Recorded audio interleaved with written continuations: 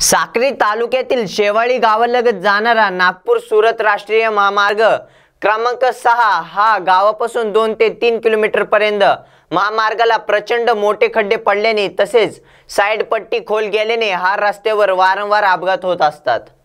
शेवाळी फाटा ते Shantivan I T I college पर्यंत वाहन चालकांनी वाहन चालवताना चांगलीच दमछाट होत आहे.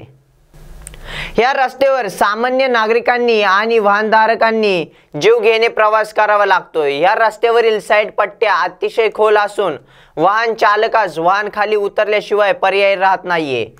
म्हणून वाहन चालवताना जीव मुठीत धरून वाहन चालवावे लागतात अशी परिस्थिती ह्या राष्ट्रीय महामार्गावर झाली आहे. ह्यामुळे छोटे मोठे अपघात होऊन अनेक वेळा वाहन चालकांना आपला जीव गमवावा लागला आहे. महामार्ग प्रशासन मोठ्या अपघातीत वाट पाहत आहे की काय असा प्रश्न गावातील नागरिकांनी व वाहनधारकांना पडत आहे. म्हणून महामार्गावरील खड्ड्यांची आणि साईड पट्ट्यांची दुरुस्ती तात्काळ करण्यात यावी अशी मागणी वाहन चालकांनी व नागरिकांनी केली आहे. तसेच शेवाळी गाव लगत असलेला पूल हा देखील धक्कादायक झाला आहे. ह्याकडे महामार्ग प्रशासनाने ताबडतोब लक्ष देऊन महामार्ग दुरुस्तीची मागणी येथील रहिवासींनी करीत आहे. कल्पेश मिस्तरी झूम ऑन न्यूज धुळे.